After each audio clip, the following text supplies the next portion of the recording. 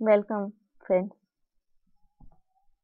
આજે આપણે chapter number eight કેલ્સીમાં આલેખની રચના પાર્ટ વન એમાં આપણે કેલ્સીમાં આલેખની રચના કઈ રીતે કરશું, એના વિશેની માહિતી મેળવીશું. તો વિદ્યાર્થી મિત્રો, આપણે કેલ્સીમાં આલેખની રચના એટલે કે હા, આપણે જે મેથ્સમાં આલેખ દોરીએ છીએ એ જ ને આપણે એ જ આલેખને આપણે કેલ્સીમાં પણ ડ્રો કરી શકીએ છીએ કઈ રીતના? બોલપેનથી? પેન્સિલથી? નહીં. કઈ રીતના? તો કોમ્પ્યુટરમાં આપણે કેલ્સી અથવા તો એક્સેલ છે, એ એપ્લિકેશનની મદદથી આપણે આલેખની રચના કરી શકાય છે. તમને ખ્યાલ પણ હશે. બરાબર ને? તો આપણે એક્સેલમાં આલેખ દોરતા આવડે છે. એ જ રીતે સેમ ટુ સેમ કેલ્સીમાં પણ કરવાનું છે. બરાબર? આલેખનો ઉપયોગ શાના માટે થાય છે? તો ટેકનોલોજીના વિકાસ અને તકનીકી વિશ્લેષણની વધતી જરૂરિયાતને કારણે આલેખનો ઉપયોગ ઘણો વધ્યો છે. આલેખ એટલે ચાર્ટ આપણે જે ચાર્ટ બોલીએ છીએ એ. તો સ્પ્રેડશીટ પેકેજ વ્યાપકપણે પ્રચલિત થવાનું એક કારણ આલેખની ઉપયોગિતા છે. બરાબર?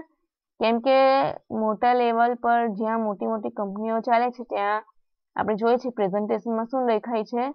તો ચાર્ટ બનાવેલા. એને ચાર્ટમાંથી જ બધું સમજાવવામાં આવે છે. તેના માટે પાવર પોઈન્ટ પ્રેઝન્ટેશનની અંદર આપણે પહેલાં ચાર્ટ બનાવી દીધેલો હોય. તો એ જ ચાર્ટને આપણે કેલ્સીમાં પણ વ્યવસ્થિત બનાવી શકાય છે. તો એના માટે એનો ઉપયોગ થાય છે. તો આલેખ એ વિશાળ માહિતીને આકર્ષક રીતે રજૂ કરવાની ક્ષમતા ધરાવતી વ્યાવસાયિક સ્થિતિનું એક ઉદાહરણ છે. આલેખને આંકડાકીય માહિતી ચિત્રાત્મક સ્વરૂપે રજૂ કરવાની રીત પણ કહેવામાં આવે છે. શું છે આલેખ? ને આંકડાકીય માહિતીને ચિત્રાત્મક સ્વરૂપ, એટલે કે આપણે તમારે કોઈ તમારા માર્ક્સ છે.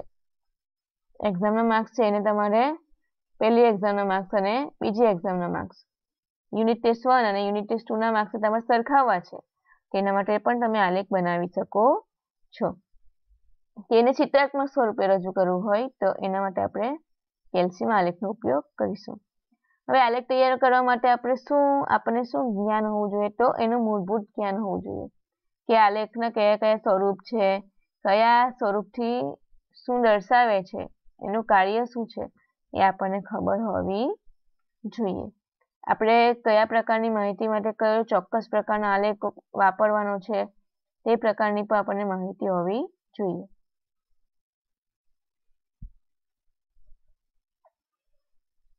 હવે છે આલેખના પ્રકારો ટાઈપ્સ ઓફ ચાર્ટ તો વિનિયોગની પ્રકૃતિ અને આપણી જરૂરિયાત પ્રમાણે આલેખનો પ્રકાર પસંદ કરવો જોઈએ. હવે તો આપણે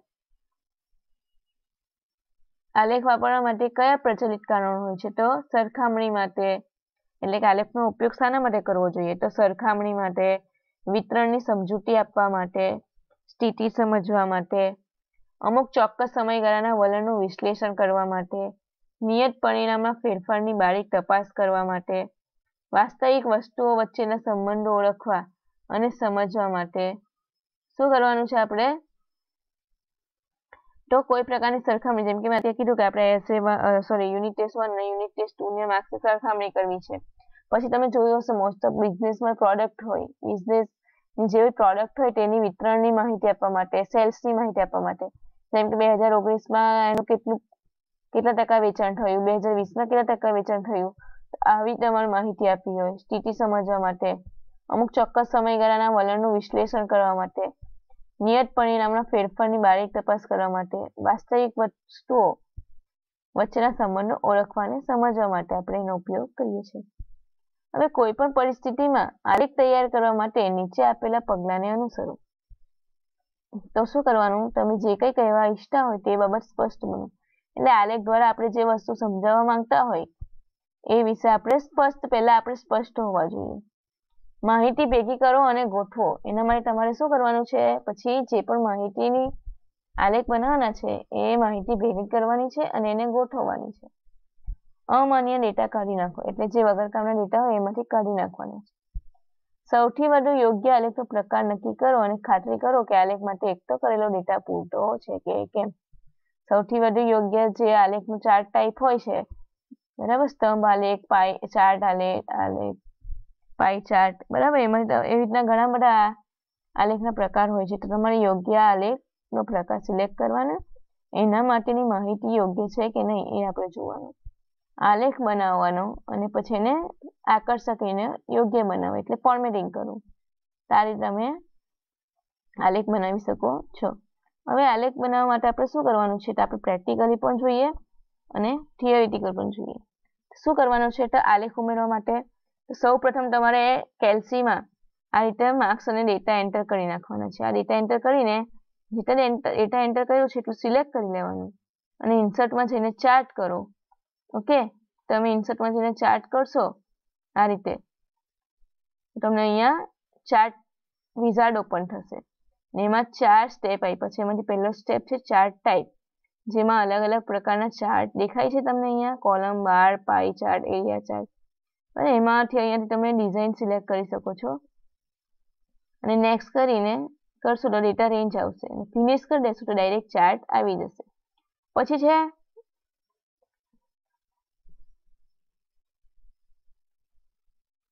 ડેટા વિસ્તાર. ડેટા વિસ્તારમાં શું છે? તો જો તમે પહેલેથી એક્સેલ કેલ્સીની સીટમાંથી ડેટા વિસ્તાર સિલેક્ટ નહીં કર્યો હોય તો તમે અહીંયાથી કરી શકો છો. અહીંયાથી કરશો એટલે કેલ્સી આવી જશે.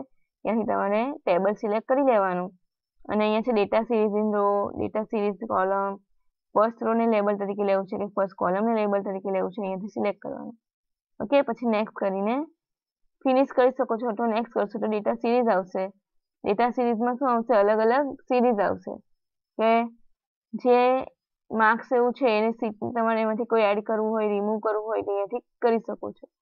ચાર્ટના એલિમેન્ટ ચાર્ટના એલિમેન્ટ એટલે શું આવશે? તો એમાં ટાઇટલ આપવું હોય ચાર્ટને એનું સબ ટાઇટલ એક્સ એક્સિસ પર શું રાખવું છે વાય એક્સિસ પર શું રાખવું છે? બરાબર ઝેડ એક્સિસ લેવું હોય તો એના પર શું રાખવું છે? અહીંયાથી કેટલા ગ્રીડ એટલે કેટલા એક્સ દેખાવા છે?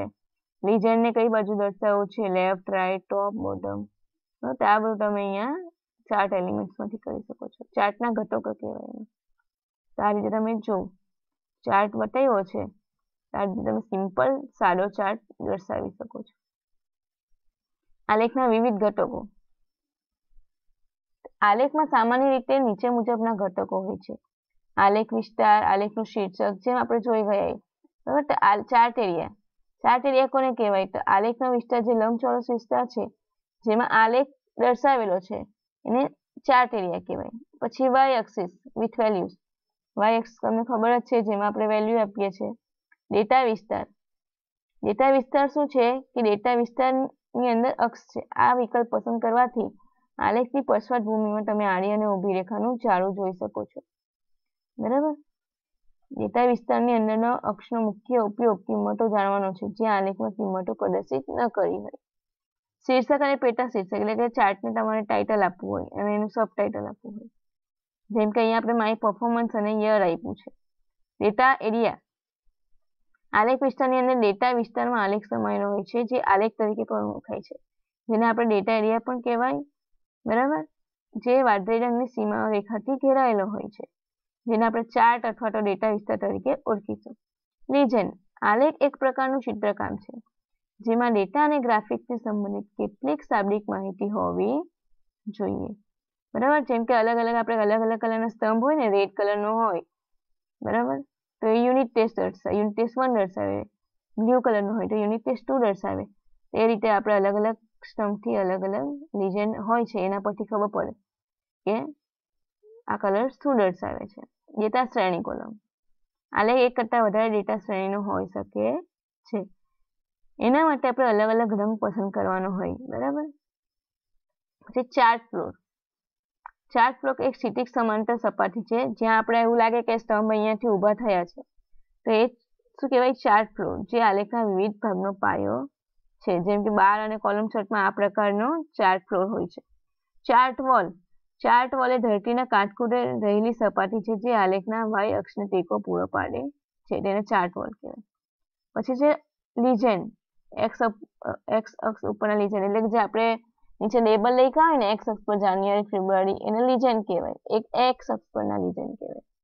તો આ બધા હતા ચાર્ટના એલિમેન્ટ હવે આપણે પ્રેક્ટિકલી જોઈશું કે ચાર્ટ કઈ રીતે દોરાય. એ પહેલા આપણે એનો બીજો એક રસ્તો જોઈ લઈએ કે આપણે ઇન્સર્ટ ચાર્ટમાંથી નહીં મળે તો શું કરવાનું હોય? તો સ્ટાન્ડર્ડ ટૂલ બાર પર હવે ચાર્ટનો આઇકોન હશે. નહીં હોય તો વ્યૂમાં જઈને ટૂલ બાર્સ પર જાઓ અને ત્યાંથી તમે ચાર્ટ સિલેક્ટ કરી શકો છો. તેના માટે આપણે શું કરવાનું? તો સૌપ્રથમ શીટમાં ડેટા દાખલ કરવાની ડેટા વિસ્તાર પસંદ કરવાનો અને ચાર્ટ આઇકોન કરીને ફિનિશ કરો એટલે સિમ્પલ ચાર્ટ આવી જશે. આ તમે ચાર્ટ બનાવી શકો છો. હવે આપણે એને પ્રેક્ટિકલી કરીને જોઈએ. તો મિત્રો આપણે અહીંયા કેલ્સીમાં આ રીતના આપણા જાન્યુઆરી ફેબ્રુઆરી માર્ચ એપ્રિલના બુકમાં આપ્યા છે એ રીતે પ્રેક્ટિકલ કરીને જોઈએ.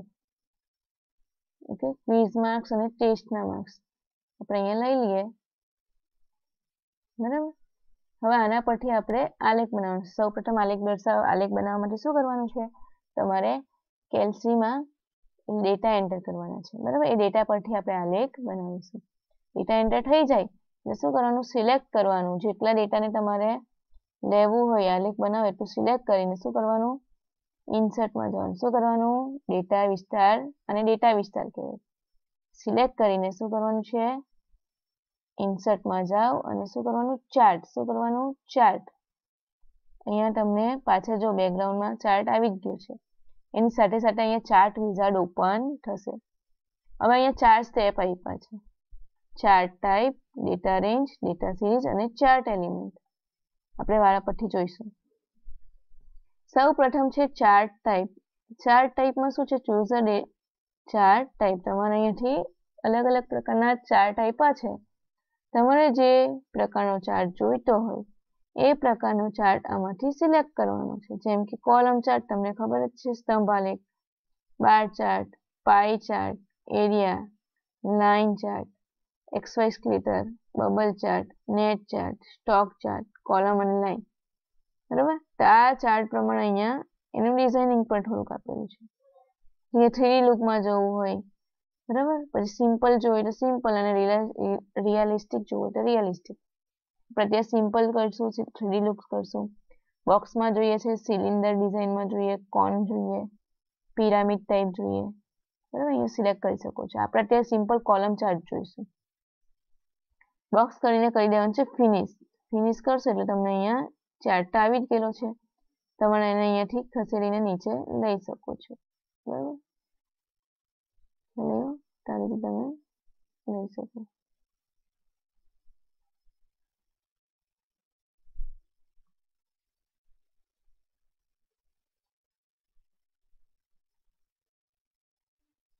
ઓકે તો આ રીતે તમે ચાર્ટ, સિમ્પલ ચાર્ટ દોરી શકો છો. હવે બીજું શું કરવાનું છે? તો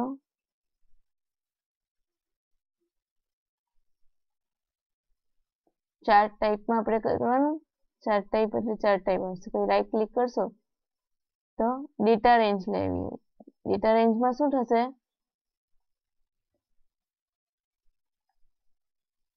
તો આપણે પાછું સિલેક્ટ કરીને બીજું ચાર્ટ પહેલા જોઈ લઈએ એટલે આપણે હવે ડેટા રેન્જ ડેટા રેન્જ શું છે? તો મેં જે અહીંયા, આ જે આપણે કેલ્સીમાં ડેટા એન્ટર કર્યા માર્ક્સની એ આપણે જો પહેલેથી સિલેક્ટ નહીં કરેલો હોય, તો તમારે અહીંયાથી સિલેક્ટ કરવાનું છે. કઈ રીતે? અહીંયા જશો સિલેક્ટ ડેટા રેન્જ કરશો એટલે તમે અહીંયાથી આ સિલેક્ટ કરશો, એટલું અંદર આવી જશે. ખ્યાલ આવ્યો? તો આ રીતે ડેટા રેન્જ સિલેક્ટ કરી શકો છો. ડેટા સિરીઝ ડેટા સિરીઝમાં શું આવશે? તમારે કંઈ સુધારો કરવો હોય તો બેક અને નેક્સ્ટ કરી શકો છો. બરાબર? આપણે આમાં જેટલી છે ડેટા એ લઈ લઈએ. ઓકે? એને તમારે ડેટા સિરીઝને રોમાં રાખવી છે કોલમમાં રાખવી છે. ફર્સ્ટ રોને લેબલ તરીકે રાખવું છે ફર્સ્ટ કોલમને લેબલ તરીકે રાખવું છે. સિલેક્ટ કરી દેવાનું. પછી છે ડેટા સિરીઝ ડેટા સિરીઝમાં શું આવે? કે ક્વિઝ માર્ક્સને તમારે નેમ આપવું છે. ટેક્સ માર્ક્સમાં શું આપવું છે? એમાંથી તમારે આ ધારો કે ક્વિઝ માર્ક્સને રિમૂવ કરી નાખવું તો રિમૂવ કરી શકો. નવું કંઈ એડ કરવું હોય તો એડ કરી શકો છો. બરાબર? ચાર્ટ એલિમેન્ટ ચાર્ટ એલિમેન્ટમાં શું આવશે કે અત્યારે તમે જો તો સિમ્પલ ચાર્ટ દેખાય છે. તમારે ચાર્ટનું નામ આપવું હોય. બરાબર? એક્સ એક્સને નામ આપવું હોય વાય એક્સિસને ઉપર નામ આપવું હોય. લીજેન્ડ કઈ બાજુ રાખવું છું? Most of right right side જ આવે, પણ લેફ્ટ લેફ્ટ બાજુ તમારે રાખવું હોય ટોપ પર રાખવું હોય બોટમ રાખવું હોય. કેટલા અક્ષ ડિસ્પ્લે કરવા છે એ તમે અહીંયાથી સિલેક્ટ કરી શકો છો. ટાઇટલમાં ધારો કે મેં આપી દીધું માય પરફોર્મન્સ પછી છે? સબટાઇટલ આપણે જોઈએ કે કયા વર્ષનું છે? એવું સબટાઇટલ આપવું બે હજાર ઓગણીસ. બરાબર? એક્સ અક્ષ પર શું રાખવું છે? વાય અક્ષ પર શું રાખવું છે? નામ ચેન્જ કરી શકો છો તમે. જેમ કે એક્સ અક્ષ પર શું દર્શાવે છે? તો મંથ વાય એક્સિસ પર શું દર્શાવે છે? તો માર્ક્સ બરાબર? આ રીતે તમે નામ આપી શકો છો. અહીંયા લેફ્ટ બાજુ રાખવું હોય રાઈટ બાજુ રાખવું હોય તો તેને નીચેને ડિસ્પ્લે કરી શકો છો. નહીં કરવું હોય તો અહીંયાથી ચેકમાર્ક કરી નાખો એટલે નહીં બતાવશે. ફિનિશ કરો. ઓકે તો આવી ગયું માય પરફોર્મન્સ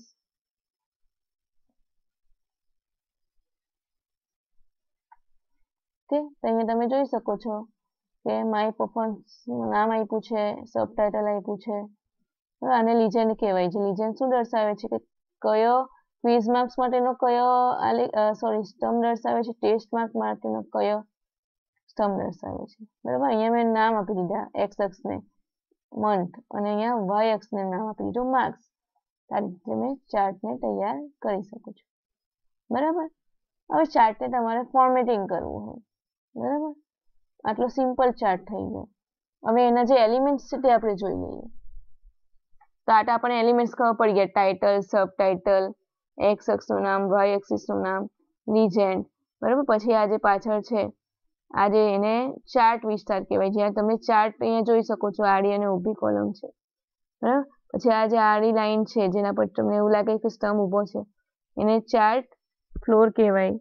પછી આ જે કાટખૂણો છે, એને શું કહેવાય? ચાર્ટ વોલ કહેવાય. બરાબર? તો આ તમે કરી શકો છો. હવે આપણે આગળ એને ફોર્મેટિંગ કરશું. આ સિમ્પલ ચાર્ટ આવી ગયો. અને અમારે એવું કે કલર ચેન્જ કરવો હોય, એને થોડું થ્રીડી ફોર્મેટમાં જણાવવું હોય, તો એને આપણે ફોર્મેટિંગ કરવા માટે શું કરશું?